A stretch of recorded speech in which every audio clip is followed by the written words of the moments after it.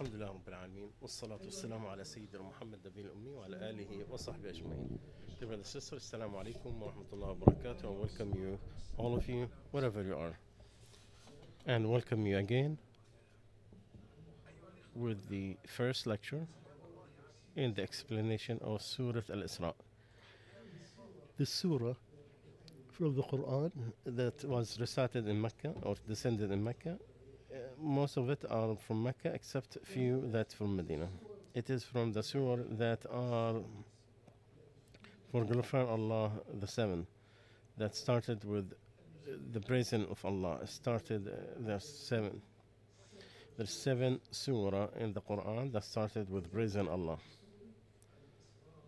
Starting in the first one, where Allah starts uh, praise is the one who had descended his uh, servant from the sacred mosque in Mecca to the furthest masjid in Al Aqsa. And uh, then Al Hadid and Surah Al Hashr.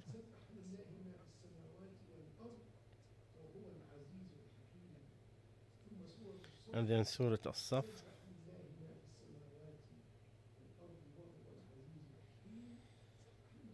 and then سورة الجمعة.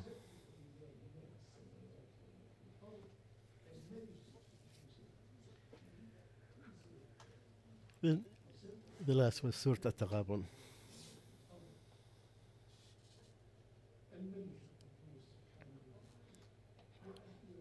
And the last one سورة الأعلى. سبحان ربك الأعلى.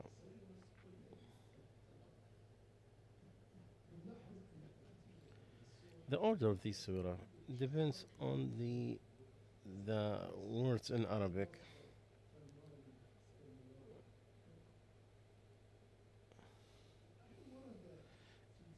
Is there anything uh, um, specific in the hadith about this surah? It's nothing uh, that make it preference over uh, others.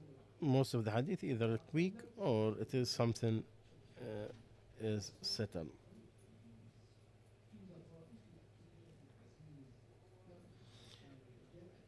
One of the scholars in his book about the preference in the uh, surahs of Allah, he said there is weak in this one. Uh, And the Sheikh is certain some of these fabricated hadith, and you could tell from the way that the the wording of it, you know, you could feel that it's not, it does not come from the Prophet sallallahu alaihi wasallam.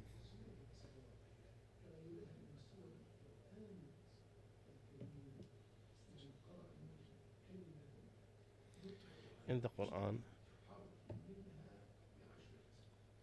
you know that if you recite the Quran, no matter what, if you read the Quran, for each letter you get 10 deeds. Uh, the Prophet ﷺ stressed that Alif Lam Mim is not one letter, it is Alif one letter, Lam one letter, and Mim one letter. That's t- 30 uh, deeds in there. Why is it called Al Isra? Isra means the ascended, the one who take you from the f- ground all the way to heavens.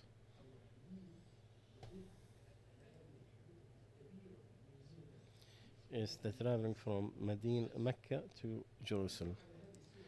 This surah also is called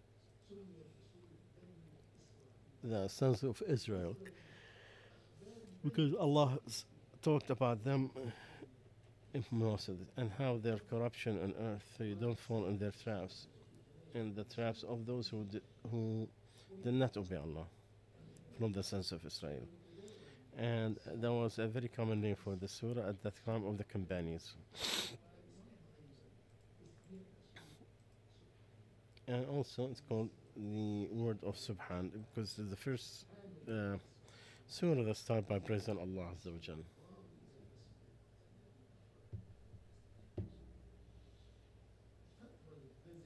The time that this surah came in, from the toughest times a most difficult one for in the life of the Prophet Muhammad sallallahu.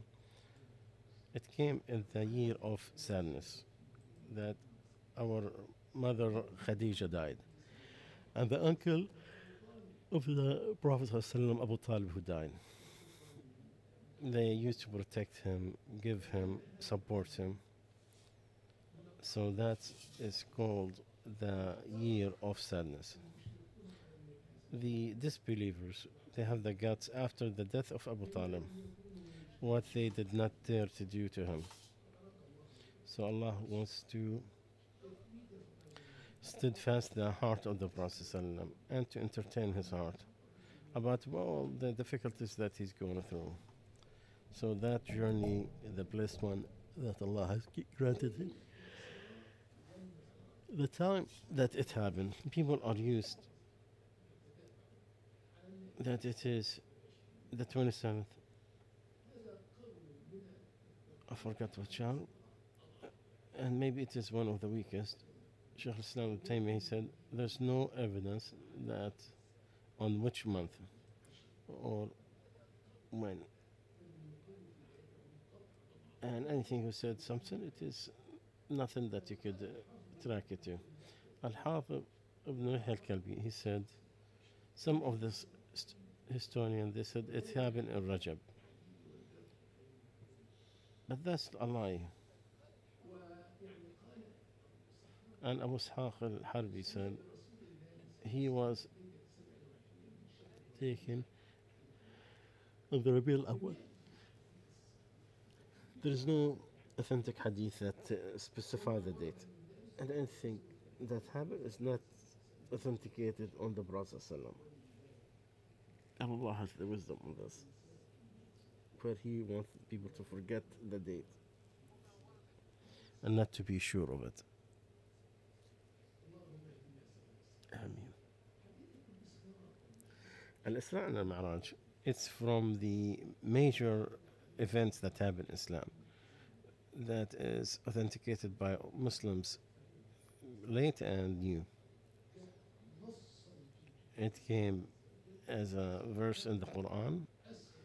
Grace is the one who took his servant from the sacred mosque in Mecca to the furthest masjid in Jerusalem to show him from our signs. And in the Sunnah, Allah's Prophet has a lot of hadith about this. In Al Bukhari Muslim and all others. This is from the origins. From the type or how, there is a dispute about two issues.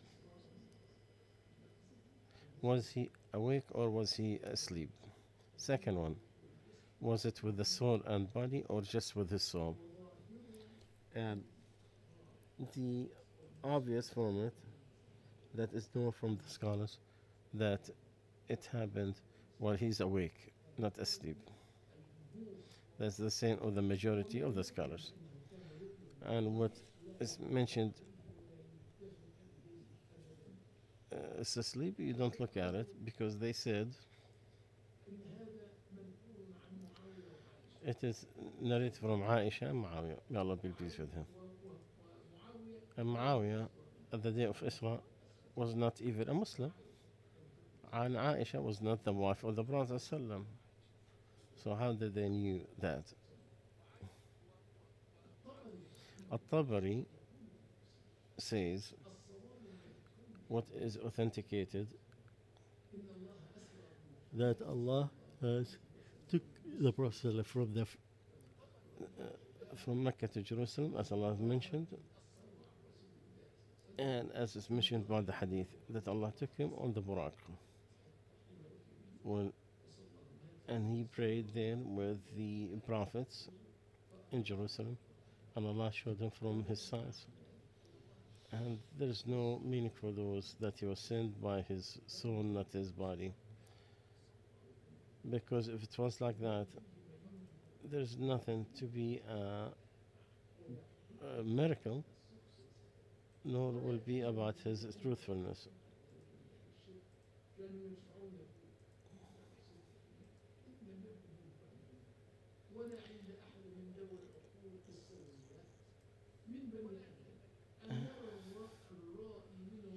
And no one could see uh, and Allah the Almighty said in His book that He has took His servant. He didn't say with the soul of His servant. So no one can go beyond what Allah Azza wa said to other evidence. It's very clear. Uh, So this is very clear that he went with his body and his soul, and he was awake, not asleep. And he used al buraq as a mean to transport.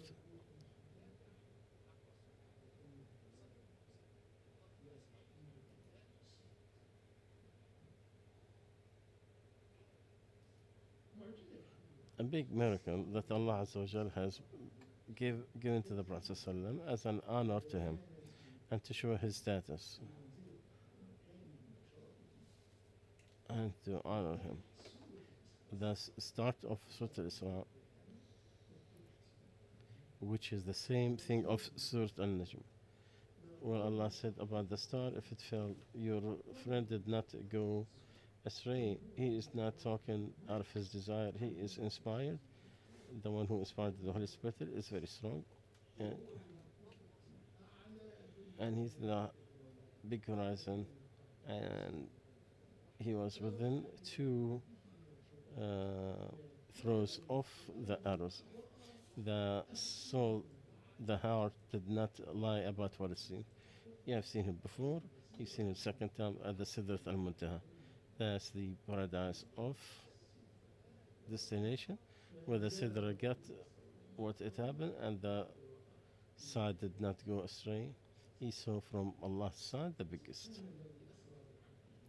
So praise is Allah, the one who sent his servant from the sacred mosque to the furthest mosque.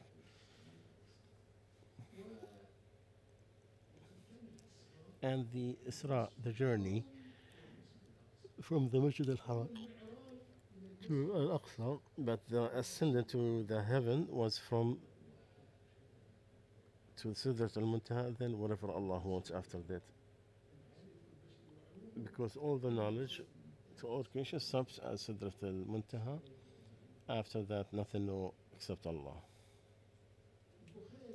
Al Bukhari, in his book, in the book of how the prayers were ordered in Isra. He said from Anas ibn Malik that Abu Dhar used to say that the Prophet ﷺ, the ceiling of his uh, house was open and Jibril descended and he opened my heart and he watched it with Zamzam.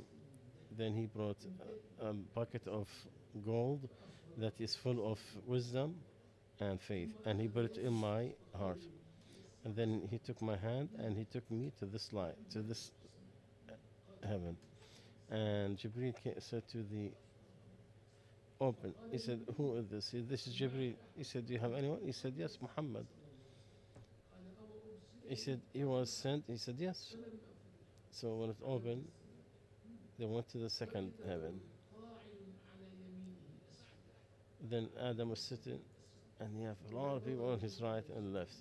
If he looked on his right, he laughed. If he looked on his left, he cries. And then he said, Welcome to the Prophet, uh, righteous Prophet, and the Son that is righteous. Asked Jibril, Who is this? He said, This is Adam. All those his right are his offspring. They're going to paradise. And on his left, the people of hellfire. If he looked at his right, he smiled and happy. If he looked at his left, he cried. Then I was descended to the second heaven. So he said, Open for the guardian. He said, Who are you and who's with you? So he mentioned to him that, and then he saw Adam, Idris, and Isa, Abraham in those heavens, in all seven heavens. When Jibril passed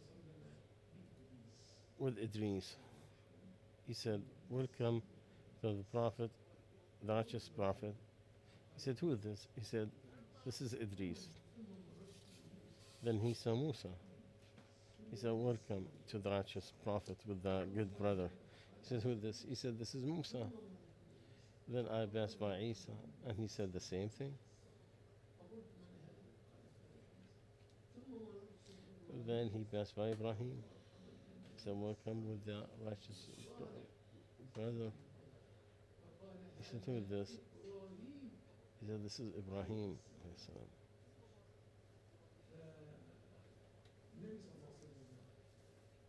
The Prophet he told some of the companions that Ibn Hazm, that Ibn Abbas and Abi Habbah al-Ansari, they used to say, the Prophet said, then I was ascended until I looked, I could hear the pens writing. So Allah obligated on His uh, nation 50 prayers. So when he passed by Musa, he said, What did Allah ordain you? He said, 50 prayers. He said, Go back.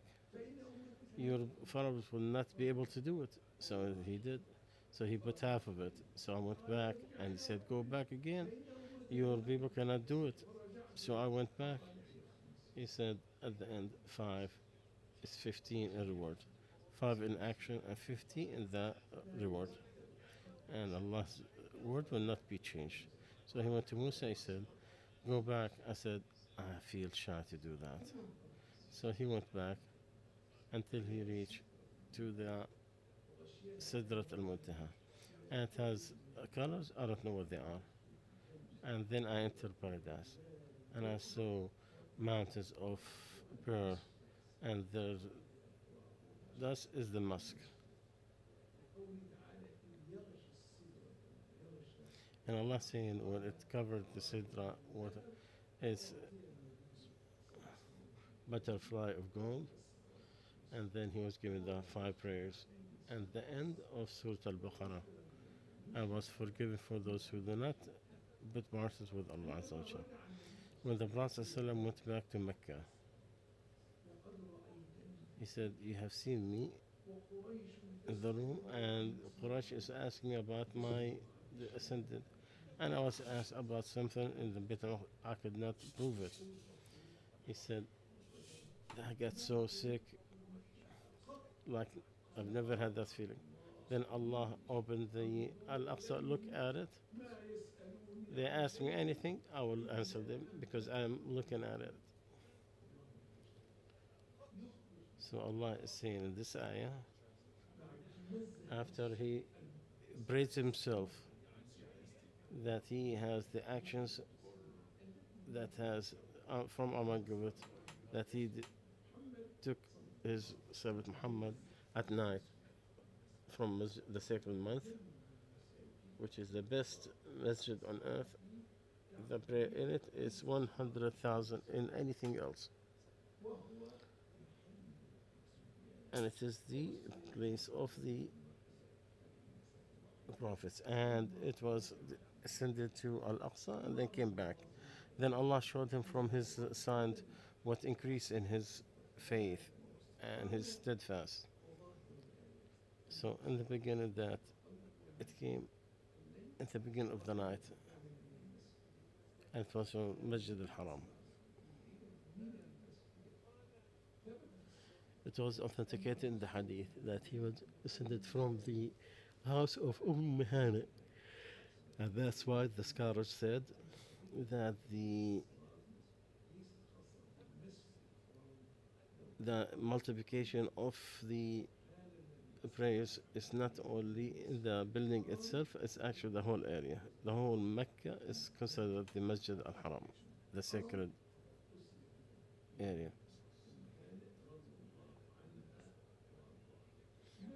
The Prophet ﷺ, at that night, he saw paradise and hellfire. He saw the prophets on their levels. and he kept going back and forth to, and he got from the levels the highest.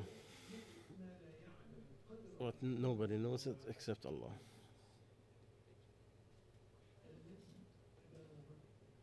Allah said, the one that we have blessed around it because of the abundance of trees and rivers. From its blessing that Allah preferred to other masajid, except the Masjid al-Haram and the Prophet Prophet's masjid. And people are required to go to it to worship and to pray in it. The people cannot go except to three places of worship the Masjid al-Haram, the Masjid al-Haram, and this masjid in Medina. Then Allah said, we have given Musa the book, and we made it guidance to the sons of Israel. Do not take beside me as uh, reliance.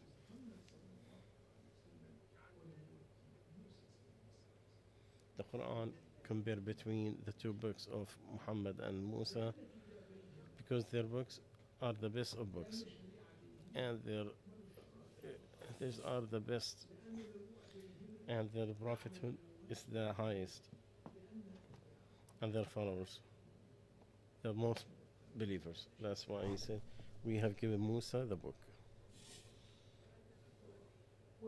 And that's the Torah. And we made it a guidance to the sons of Israel they guided with it in the darkness of uh, ignorance. Allah told him to remind them of the days of Allah, the favors of Allah. Do not take a reliance beside Allah.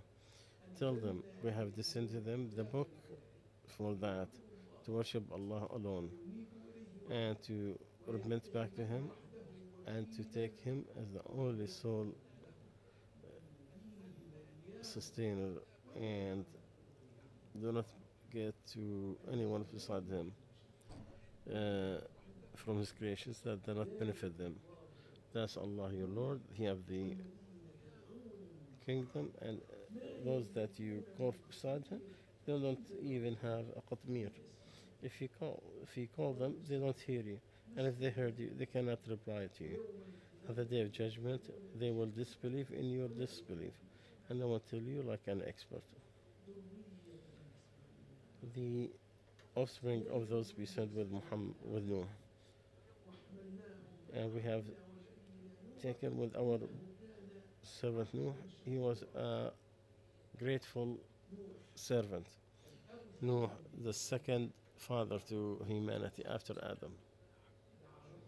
He, he asked Allah that he is he needs his uh, victory, and then Allah has opened the spring water, the seas to raise, and the skies to rain, where the flood went everywhere. He said with his people a thousand years except fifty. Call them to worship Allah only, day and night.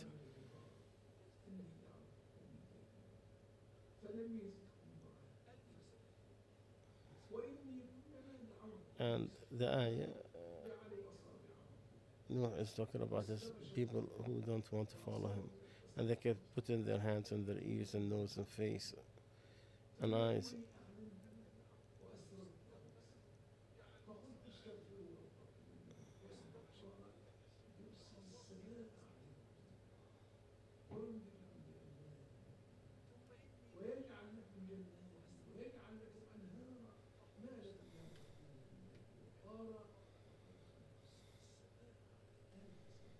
he said 1,000 except 50, and only few believed with him. And then it was know that no one will believe with you except those that already believed. So don't feel bad about what they were doing. So Noah said, don't keep any person from the disbelievers. If they stay, they will all put your servants and they will not uh, uh, have except someone who is disbelief in Allah. When the Prophet ﷺ was asked and got the option to put the two mountains on the people of Ta'if, he was patient and he felt and he hoped that Allah will get out of their offspring people who worship Allah alone. And that happened. Ikrimah ibn Abi Jahl, he is the one who led the group of death at Yarmouk.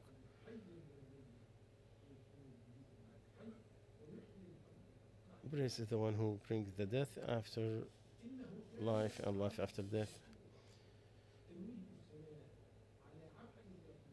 So Allah is praising Nuh that he was a grateful uh, servant, uh, grateful to the bounties of Allah. And you always need to uh, ask Allah's bounties to worship Him and then not use it into disobeying Him. Three things.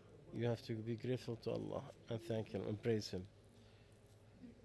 And the praise is, comes with His names and attributes and also with His orders and things forbid and His bounties and favors. And you have to glorify Him. Remember Allah's saying, and if you count Allah's bounty, you cannot count it. The human being is wrong and disbeliever. Allah is most forgiven. This is the uh, Allah the Almighty is most forgiven. Allah said in the, hadith, You are making mistakes day and night, and I forgive all sins. So ask for my forgiveness, I will forgive you. Allah also said in the hadith, All of you are hungry except for those who ask me. And you are all naked, ask me for cover you, I will give you. And all of you are astray except that I will guide. So ask my guidance. May Allah guide us all. Subhanakallah, Muhammadik, nashhadu an la ilaha illallah, nastaghfiruka wa natubu We'll continue on Thursday.